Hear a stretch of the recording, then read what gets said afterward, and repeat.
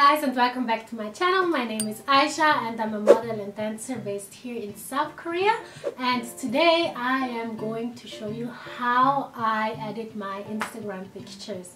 So basically I'm going to take as a reference the pictures that we took on our outdoor maternity shoot.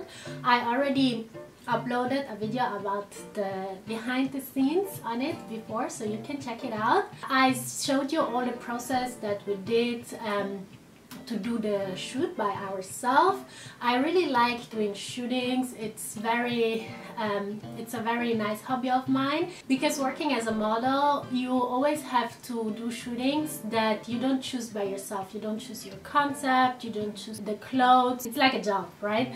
So that's why I really enjoy doing pictures by myself and creating the whole process by myself. So that's why I like to just um, get ready look for inspiration first of all then think about outfits think about the location get ready for my hair and makeup get also some things that I also like to do by myself like steaming the clothes and also choosing since it's a couple shoot also choosing the outfits for my husband that will match my outfits.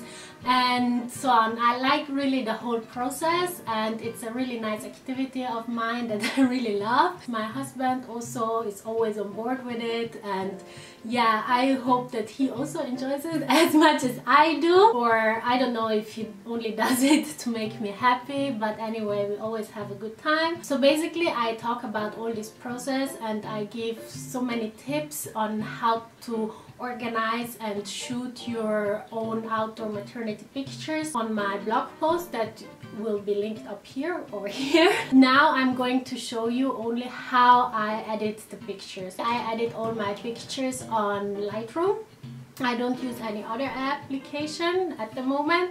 And I also have my own preset because I really like to have consistent mood on my Instagram feed. And it's very vintage inspired. I really like when the colors are not too bright. And that's why I like always using this style of um, preset. Of course this is a preset and therefore I'm not just going to upload the pictures on Lightroom and then just put the filter on it and that's it. I have to match every single picture with the picture's lighting condition, color condition and so on. So let's get started. I already chose some favorites. Today I'm going to show you how I edit the pictures based on maybe this picture. So I'm gonna open Lightroom. The first thing that I'm gonna do is create an album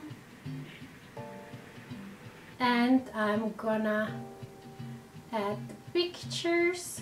Here it is.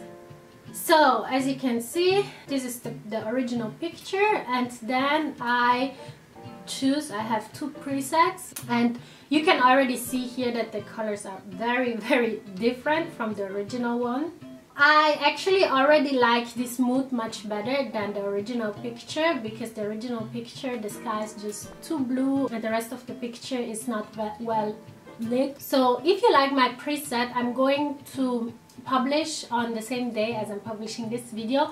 Also on my blog a post about my Instagram preset. You can just um, copy it.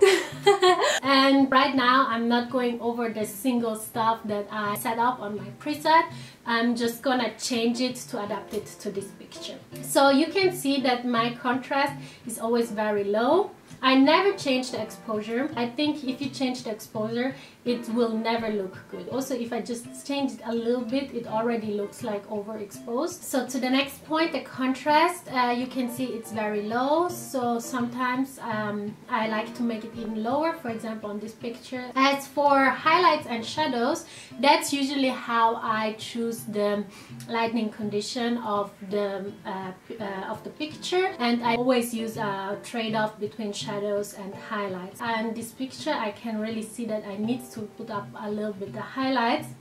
But at the same time if I decrease the shadow it will also uh, get brighter. So I try to use a little bit of a trade-off. Same with whites and blacks. Usually I don't really touch these two often but if I see that I cannot do a lot with the shadows especially when it comes to my hair my hair sometimes when I use this filter it looks rather light brown instead of black. So I try to adjust it with the black. Then I move on to the color. I can see that the temperature is very high here and I think it doesn't look very good in this picture because it's more like a dry vegetation so I don't want it to be like too warm.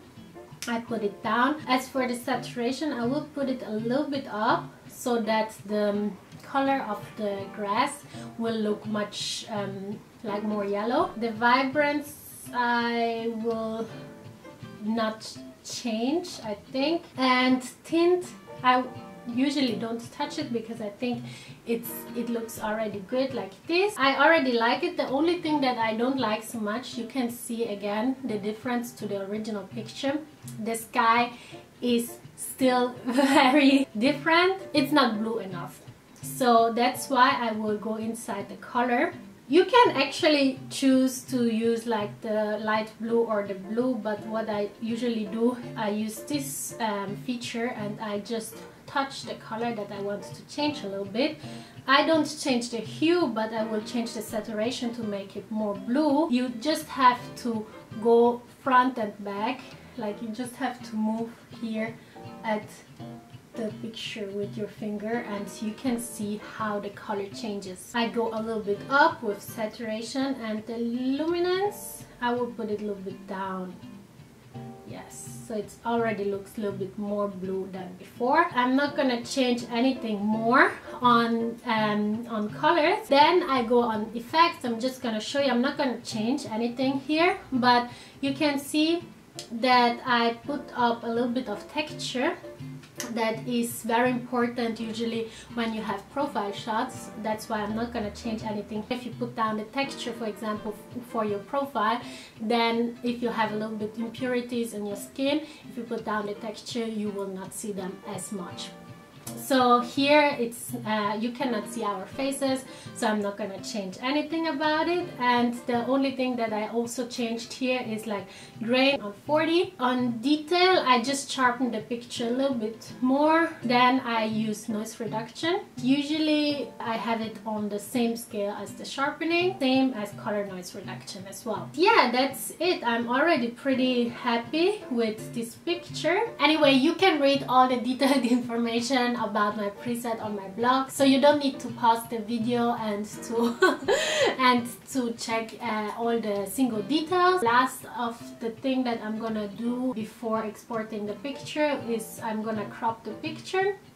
I'm gonna crop it the size 4 to 5 which is the uh, size that Instagram uses. What I make always sure is that when cropping a picture that is like full body the feet are on the very low edge of the picture and that the head ends exactly on the second line from from from the bottom of course make sure that like it's in the center. Usually I always export it first to the camera roll and then I'm gonna post it on Instagram. And you can see it. I just posted the picture yesterday on Instagram.